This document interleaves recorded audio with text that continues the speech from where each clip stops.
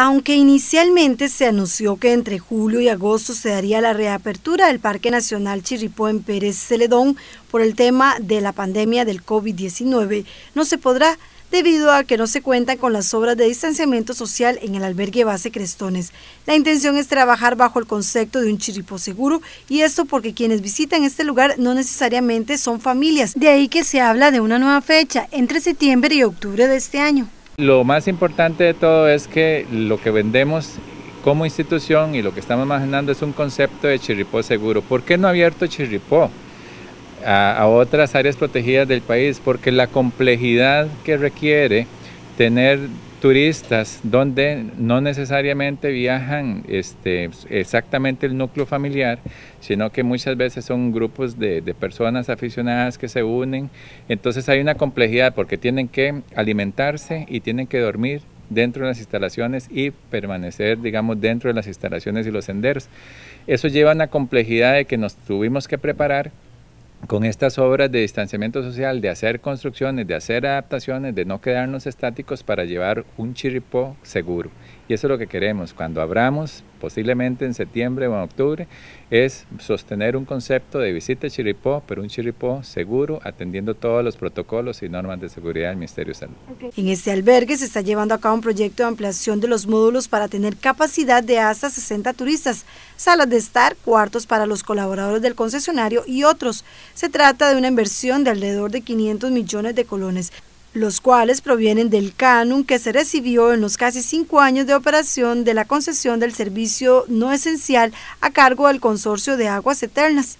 Esas obras están prácticamente concluidas, pero aprovechando que se está trabajando en el área, el Ministerio de Ambiente y Energía logró una ampliación al contrato con el fin de que se construyan obras de distanciamiento social como parte de los requisitos para su reapertura. El albergue está en un lugar por encima de los 3.000 metros sobre el nivel del mar y se construyó en la década de los 90. Está diseñado para que sea cerrado y poco ventilado para ayudar contra el frío y el viento, por lo que se construirán una plazoleta y otras obras al aire libre. En las nuevas estructuras se invertirán alrededor de 90 millones de colones. Dentro del marco de la pandemia, dentro de la situación, a decir, bueno, ¿qué es lo que realmente va a pasar?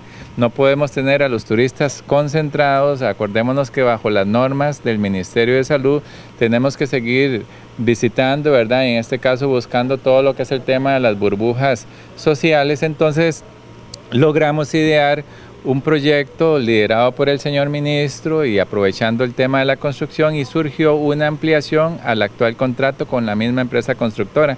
Esto es una posibilidad que da la ley de contratación administrativa y su reglamento que nos permite a, través del artículo 208 hacer ampliaciones que no superen el 50% de los fondos originales y logramos hacer una ampliación cercana a los 90 millones de colones para hacer precisamente obras de distanciamiento social por COVID-19. ¿Qué quiere decir eso?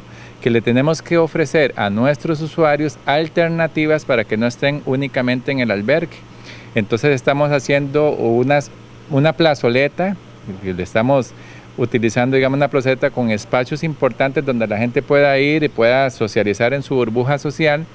Estamos haciendo, por ejemplo, un deck techado, ¿verdad? Para que esté al aire libre, bastante ventilación y que permita este, obviamente con una capacidad, no van a estar todos al mismo tiempo, pero eso nos va a permitir en este momento, digamos, tener a la gente distribuida entre el albergue, los nuevos módulos y, estas, y esta plazoleta, digamos, para obras de distanciamiento social, que nos va a permitir una convivencia mayor en términos, en este caso, digamos, de la situación de la pandemia. Como la capacidad sería de 60 personas, la intención es recibir a unos 30 turistas al día.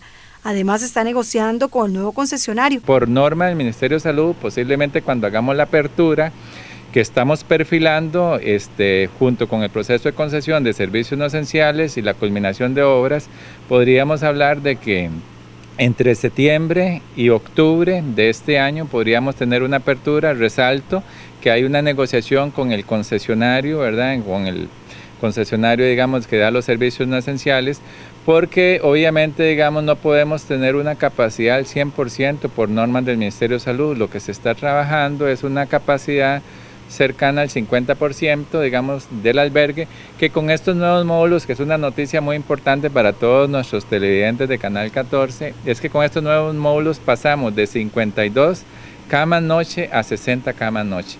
Porque estamos recuperando dos habitaciones que estaban destinadas para el concesionario y para bodega, las estamos eh, eh, ubicando a ellos en los nuevos módulos y estamos logrando ocho espacios más para turistas. Entonces para nosotros también esto es súper importante. Eso porque también se tiene que ajustar el sistema de reservaciones en línea. Digamos, si la capacidad es 60, una vez entonces nosotros tendríamos que ajustar el sistema de reservaciones en línea porque hay que recordar que para el caso de Chirripó este, operamos con un sistema de reservaciones en línea y está no solo el acceso por el sendero principal, sino también el acceso por los laterales, que es la parte, digamos, de las rutas de Herradura, Oranchiripó y las rutas de San Jerónimo de San Pedro, Sabana Los Leones, Base Crestones.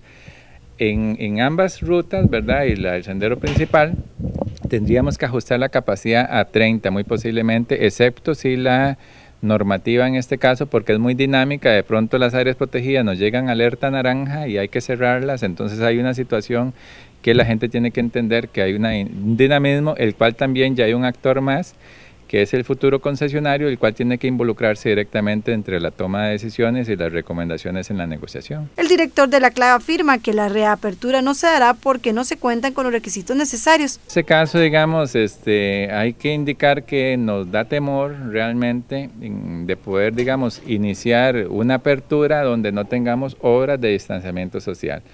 De hecho, que no, no, no, creería que las autoridades sanitarias lo avalaran. Entonces, bajo esa norma, que ya tenemos estrictos protocolos...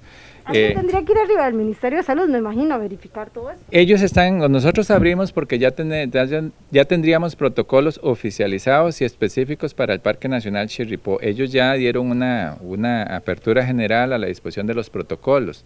Pero, por supuesto que, como ha pasado en otras áreas protegidas, ellos están supeditados a hacer las visitas, nos dan la posibilidad de, abrir con los protocolos y en el momento que el Ministerio de Salud lo considere puede hacer la visita y hacer las recomendaciones específicas de cada caso. Así que los trabajos comenzarán y se espera que una vez que se tengan las nuevas estructuras de distanciamiento social se dé una reapertura segura para los turistas.